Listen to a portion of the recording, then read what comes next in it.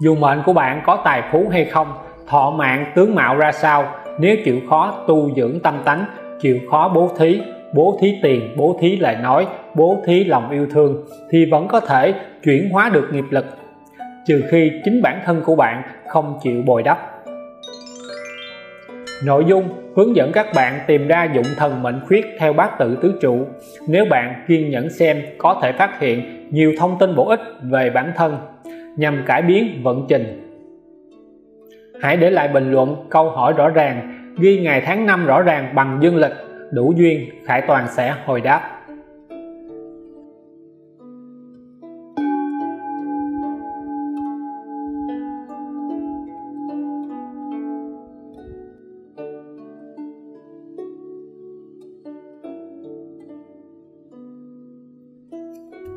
Hải Toàn xin tấm tắc nhân 7 sinh từ 9 tháng 8 cho đến 6 tháng 9 năm 83 dương lịch, tháng canh thân. Năm quý hợi là người nội tâm, trầm tính, hiền lành cọc tính, ít phân tranh.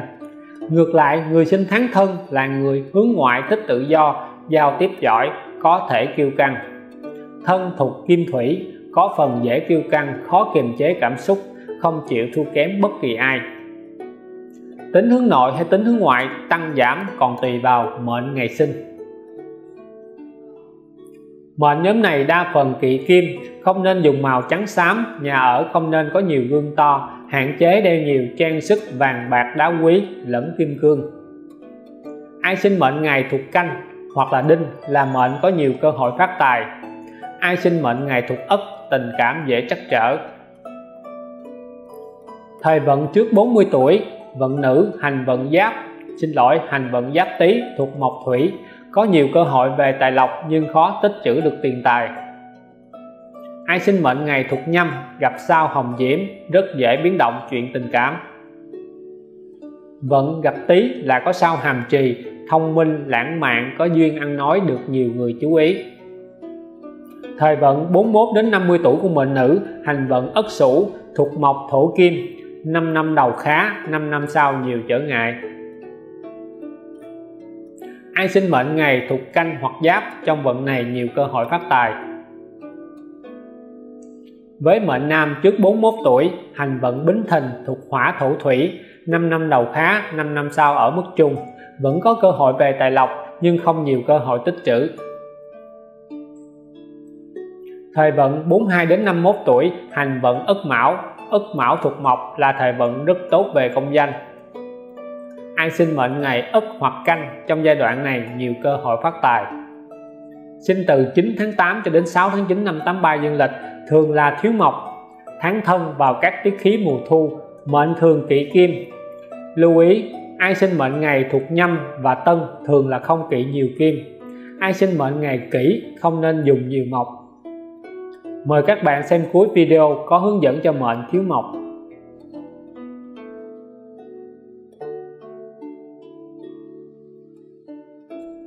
Khải Toàn sinh tóm tắt nhóm 8 sinh từ 7 tháng 9 cho đến 5 tháng 10 năm 83 dương lịch. Tháng Tân Dậu. Tháng Dậu vào các tiết khí mùa thu, mệnh thường kỵ kim. Dụng thần mệnh khuyết, đa phần là mộc hoặc hỏa. Lưu ý, mệnh ngày sinh thuộc nhâm hoặc tân thường không kỵ nhiều kim. Ai sinh mệnh ngày thuộc kỷ không nên dùng nhiều mộc. Năm sinh quý hợi là người nội tâm, lành tính cọc tính, ít phân tranh người sinh tháng dậu tượng trưng cho sức mạnh của kim dậu cố chấp khỏi phải bàn. Dậu thuộc kim, rất cố chấp, tranh cãi với họ, dễ cao máu. Tuy không chú trọng về ngoài, nhưng họ thích ăn ngon, thích yêu thương, bảo vệ gia đình hết mực. Dậu thuộc tứ mã cực đoan, là người có tài lãnh đạo. Người sinh nhóm này đa phần kỵ kim, không nên dùng trắng xám nhà ở không nên có nhiều kim loại, có nhiều gương to. Hạn chế đeo cả vàng, bạc, trang sức và lẫn kim cương. Ai sinh mệnh ngày thuộc bính hoặc tân là mệnh có nhiều cơ hội phát tài. Ai sinh mệnh ngày thuộc tân sẽ mạnh chuyện chăn gối và tình cảm dễ chắc trở. Thời vận mệnh nữ trước 40 hành vận ất sửu thuộc mộc kim thổ. 5 năm đầu khá 5 năm sau dễ hao tài thời vận mệnh nữ 41 đến 50 tuổi, hành vận bính dần thuộc hỏa mộc, là thời vận rất tốt về tài lộc và cả công danh. Ai sinh mệnh ngày thuộc giáp hoặc quý, trong vận này nhiều cơ hội phát tài. Ai sinh mệnh ngày thuộc bính, gặp sao hồng diễm, dễ biến động chuyện tình cảm. Thời vận mệnh nam 35 đến 44 tuổi, hành vận đinh tỵ thuộc hỏa 5 năm đầu khá 5 năm sau ở mức trung dễ xung đột hoặc có sự đố kỵ, lời nói dễ gây hiểu nhầm. Thời vận sau 45 đến 54 tuổi, hành vận bính thìn thuộc thủy hỏa thổ là thời vận chung. Ai sinh mệnh ngày, quý hoặc ất trong giai đoạn này dễ phát tài. Mời các bạn xem cuối video có hướng dẫn cho mệnh thiếu mộc.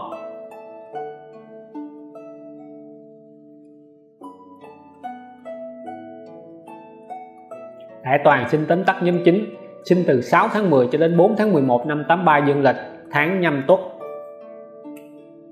Tháng tuất vào các tiết khí cuối mùa thu. Tuất thuộc thổ hỏa, đa phần là người khuyết mộc. Ai sinh mệnh ngày kỷ không nên dùng nhiều mộc.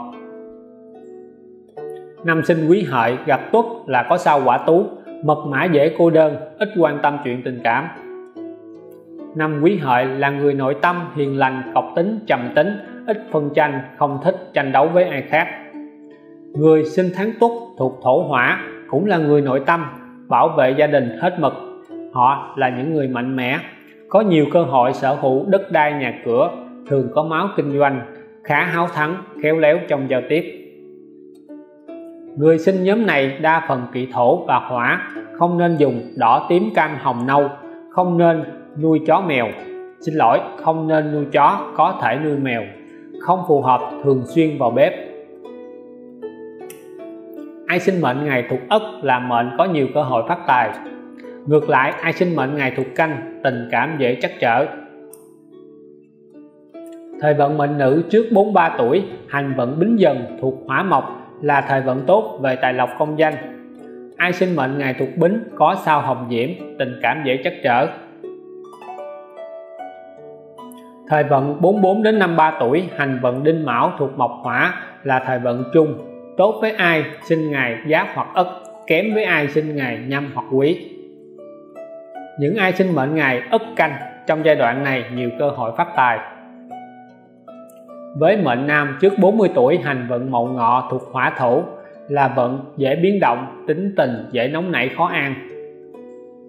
Thời vận sau 41 đến 50 tuổi hành vận đinh tỵ thuộc hỏa, tương tự vận trước nhưng có cơ hội về tài lộc. Ai sinh mệnh ngày thuộc nhâm, trong vận này nhiều cơ hội phát tài. Vận gặp tỵ là có sao dịch mã, dễ biến động, đi xa, thay đổi chỗ ở hoặc công việc. Mời các bạn xem phần sau video có hướng dẫn cho mệnh thiếu mộc.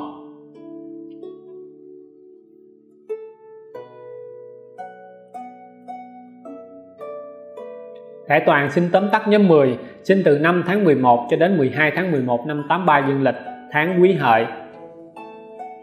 Tháng hợi vào các tiết khí lạnh, dụng thần mệnh khuyết đa phần là mộc và hỏa, thường là kỵ thủy. Lưu ý, ai sinh mệnh ngày thuộc nhâm và tân thường không kỵ nhiều thủy. Năm quý hợi là người nội tâm, hiền lành, cọc tính, ít phân tranh. Năm hợi tháng hợi là nhóm người dễ khổ tâm, thiếu ý chí và thiếu nhiều quyết đoán. Họ là những người lành tính, hướng nội. Mệnh thủy vượng thường thông minh và tận tình, dễ đa sầu đa cảm. Nhóm sinh này đa phần dư thủy, kỳ thủy. Mệnh kỳ thủy không nên dùng đen và xanh dương, không phù hợp chọn hình nền là cá chuột heo rồng. Hạn chế sử dụng nhiều trang sức vàng bạc, nhà ở không nên có nhiều gương to ai sinh mệnh ngày thuộc nhâm hoặc là quý, mệnh khó giữ được tiền tài. Sinh từ 5 tháng 11 cho đến 12 tháng 11 năm 83 dương lịch thường là thiếu mộc. Sinh từ 13 tháng 11 cho đến 3 tháng 12 năm 83 thường là thiếu hỏa. Thời vận mệnh nữ trước 43 tuổi hành vận đinh mão thuộc hỏa mộc là thời vận khá. Thời vận 44 đến 53 tuổi hành vận mậu thìn thuộc thổ thủy, dễ có cơ hội về tài lộc nhưng khó tích trữ được tiền tài. Ai sinh mệnh ngày mậu hoặc kỷ, gặp vận này là có sao hồng diễm, dễ biến động tình cảm. Ai sinh mệnh ngày thuộc ất, trong vận này nhiều cơ hội phát tài. Thời vận mệnh nam trước 44 tuổi, hành vận kỷ mùi thuộc thổ hỏa là thời vận trung. Thời vận sau 45 đến 54 tuổi, hành vận mậu ngọ thuộc hỏa là vận khác ai sinh mệnh ngày ất giáp quý kỷ trong vận này nhiều cơ hội phát tài. Mời các bạn xem cuối video có hướng dẫn mệnh thiếu hỏa và mệnh thiếu mộc.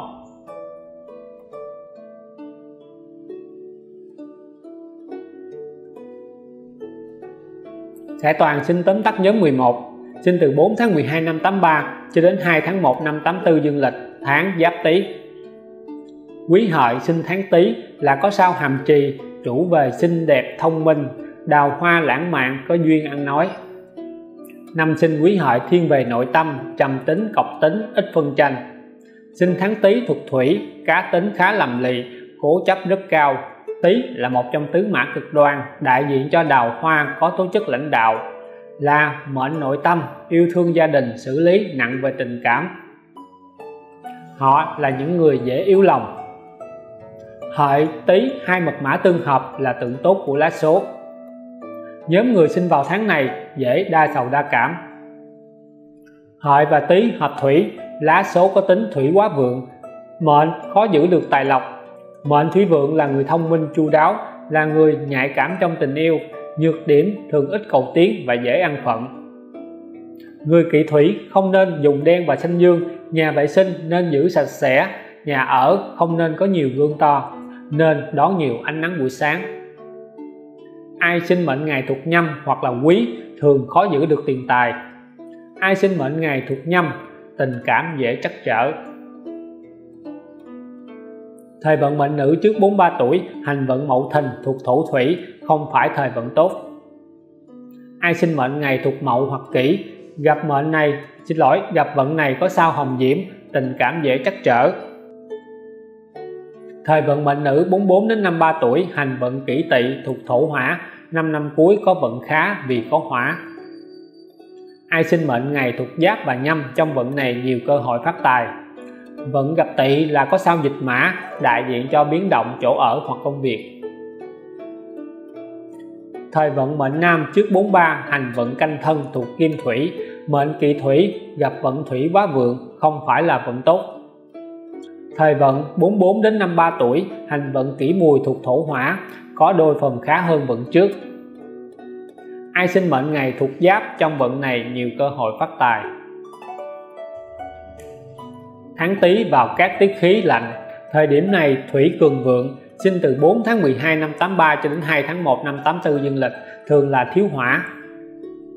Lưu ý, ai sinh mệnh ngày thuộc nhâm và tân thường không kỵ nhiều thủy mời các bạn xem cuối video có hướng dẫn cho mệnh thiếu hỏa.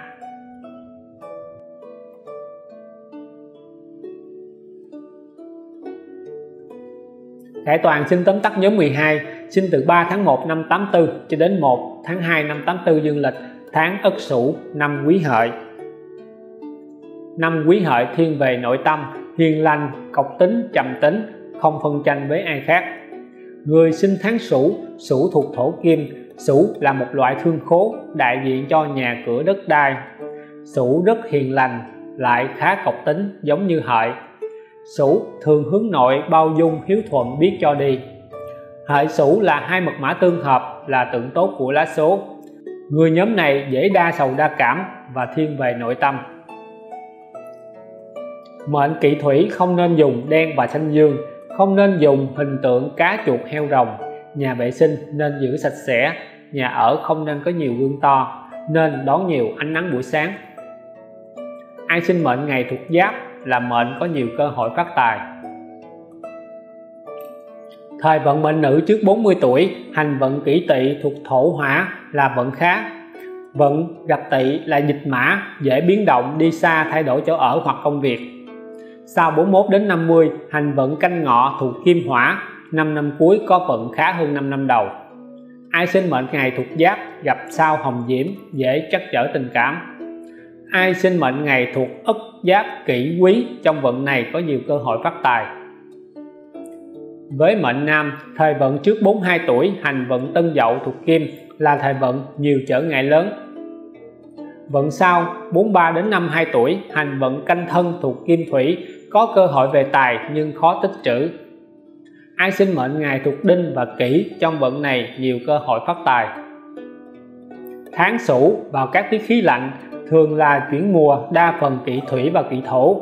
Sinh từ 3 tháng 1 năm 84 cho đến 1 tháng 2 năm 84 dương lịch, thường là thiếu hỏa và thiếu mộc kỵ thủy thổ. Lưu ý, ai sinh ngày nhâm hoặc tân thường không kỵ thủy.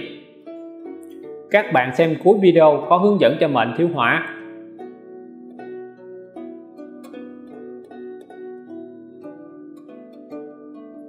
Học cải vận cũng như nhân quả đời thường. Bạn hiểu mệnh, dụng tốt và kiên trì sẽ có quả tốt. Trong đó, tâm lý là một loại phong thủy mạnh nhất. Bạn nghĩ mình thay đổi được vận mệnh, bạn nghĩ mình sống thiện lành thì nhân quả sẽ là báo ứng lành. Để nghĩ thiện cần mở lòng, để khai ngộ cần tu dưỡng tâm tánh. Hành thiền giúp tâm an, biết bố thí sẽ tích phước bồi đức. Các bạn vào website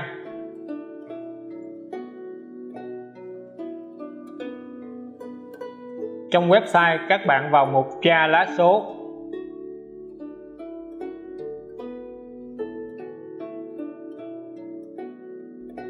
Các bạn kéo xuống bên dưới một tí xíu.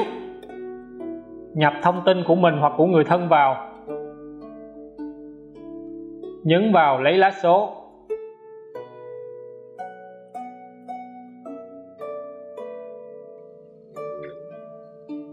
Các bạn kéo xuống một tí hoặc là nhấn vào chữ màu đỏ. Lá số và đại vận. 8 ô bên trái là bát tự của bạn vừa nhập vào. Các ô bên đây nói về đại vận. Tiếp theo, các bạn chú ý vào mệnh ngày sinh của mình. Năm tháng ngày giờ, ở trên là thiên can, ở dưới là địa chi. Các bạn quan tâm đến mệnh ngày sinh. Ví dụ, người này sinh ngày đinh thuộc hỏa. Thái Toàn đã hướng dẫn cách tra dụng thần cho tuổi quý hợi theo 12 tháng sinh để biết chính xác cần có cả ngày giờ sinh và giới tính. Bát tự tứ trụ xét cả 8 ô, cột ở nhật can, tức là mệnh ngày sinh, rất quan trọng. Xét theo mệnh ngày sinh, Khải Toàn xin tóm tắt như sau.